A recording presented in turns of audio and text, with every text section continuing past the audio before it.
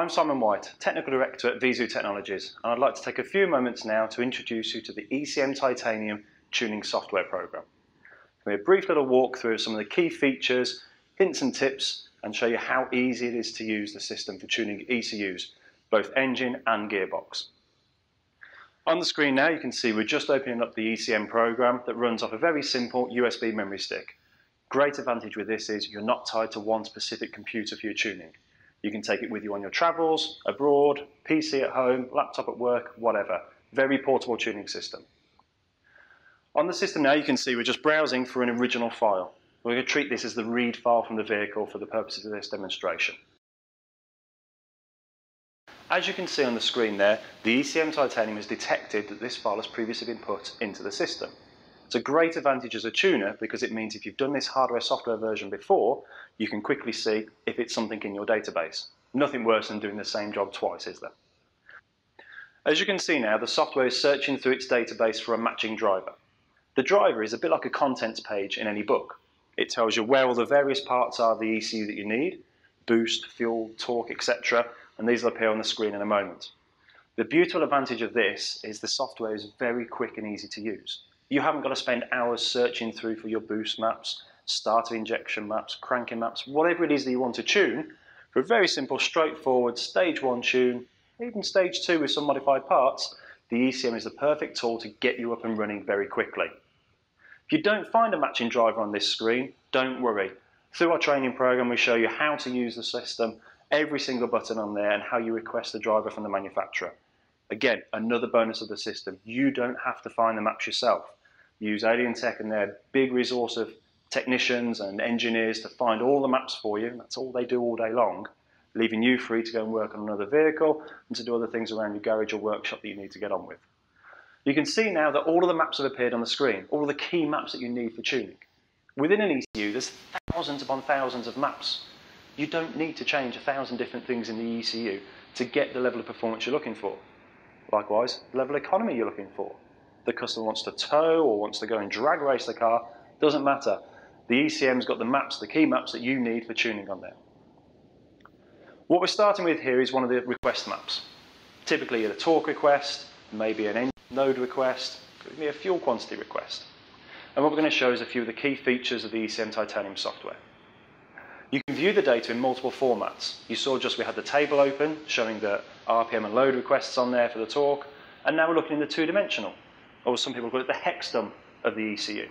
So you can see the data in its sort of raw format also, almost. This allows you to understand if a map's been sort of correctly identified or if you've got any discrepancies in your actual read file. What you're looking for is nice repetitive patterns in here. This also helps you sanity check your work. So if you've made changes to one map later on and you're like, hmm, I'm not sure if I did the second or third, checking the 2D image, just scroll along slightly and you'll see if any of those maps are missing. Typically, most of the editing and changing you're going to do to the software is going to be based in the table format. Now, some people have the preference of modifying in three-dimensional that you'll see shortly. Some people like to modify in the two-dimensional.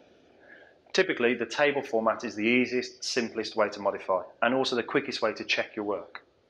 What we're going to do now is show you a couple of different ways that you can edit data. Now, this isn't the exact area you need to be modifying, so don't try and copy the changes here and think it's going to make it into a starship down the road. This is just to highlight how you make the changes. So in the bottom right hand corner of the file there, you can see we've selected a small area and we've hit the edit button. And we're literally typing in a physical value that we want the ECU to show at that point. So in this case, we've put 403 newton meters of torque. It's not the perfect tune in there, but it highlights one of the ways in which you can make a change. Note also that the modified area is now highlighted in red, so you can quickly see the changes you've made to the on there. Going back to the two-dimensional view, we can also see the changes in the 2D. So we can see those changes represented a number of different ways. Again, it helps us sanity check our work.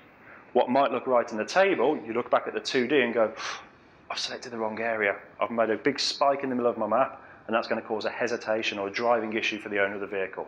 So don't be afraid to double check your work, two or three times over. It's better to be safe than sorry when it comes to tuning a vehicle. Now we're going to put a little 10% increase onto the ECU. The percentage button's pressed, 10% in there, page up, and you can see very quickly a big increase on the ECU. Now, one of the most advanced features of any tuning software, especially with ECM, is what we call the interpolation, also known as floor sum.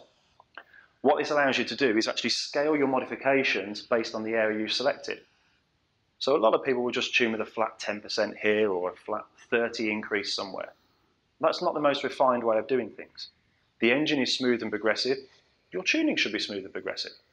So when we select an area of the EC like this, a larger data block, we can modify the different corners of that data block to have a smooth scaled increase.